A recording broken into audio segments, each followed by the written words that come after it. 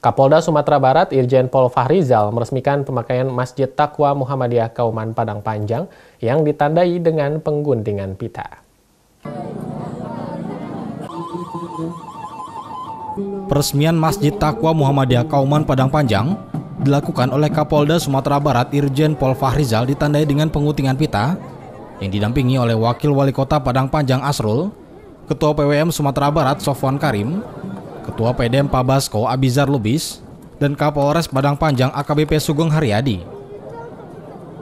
Kegiatan peresmian ini juga dihadiri oleh mantan Bupati Tanah Datar Sadik Pasadiku, Ketua MUI Padang Panjang Zulhamdi, para donatur dan ribuan warga Muhammadiyah Padang Panjang Batipus 10 Koto. Masjid Takwa Muhammadiyah Kauman Padang Panjang mulai dibangun pada 10 Oktober 2016 dan pada hari Jumat 13 Desember 2019 lalu baru diresmikan. Di Sumatera Barat baru ada tiga masjid yang mempunyai bidang usaha untuk kemakmuran masjid. Satu di antaranya adalah Masjid Takwa Muhammadiyah Kauman Padang Panjang.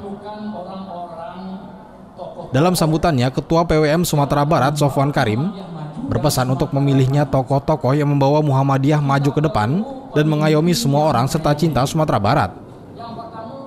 Kita berharap ke depan kita ini memerlukan orang-orang tokoh-tokoh yang akan membawa Muhammadiyah maju dan Sumatera Barat maju.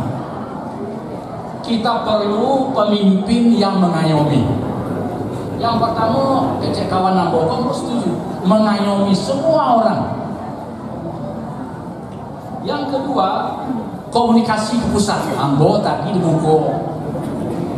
Selanjutnya kalau komunikasi rekam jejak, ya jaleh nanya siap ini pemimpin awak. Empat betul-betul cinta dan sayang dengan Sumatera Barat. Nah, kok Pak Sadi, Pak Ajo hebatnya kata pulang kembali. Pak Kapolda, La Jenderal, di situ lebih kata Pak Bintang Cele.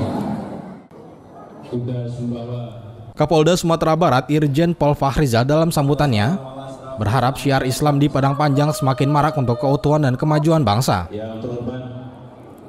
Akhirnya dengan mengucapkan Bismillahirrahmanirrahim pada hari ini Jumat tanggal 13 Desember 2019 pukul 11.20 WIB Masjid Takwa Muhammadiyah Padang Panjang 10 Koto saya resmikan penggunaannya.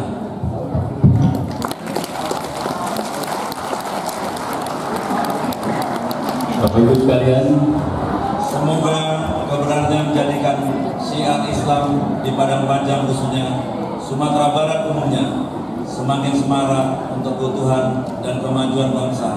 Amin ya rabbal alamin. Acara peresmian Masjid Takwa Muhammadiyah Kauman Padang Panjang diakhiri dengan penandatanganan prasasti. Zainal Abidin memberitakan dari Padang Panjang, Sumatera Barat.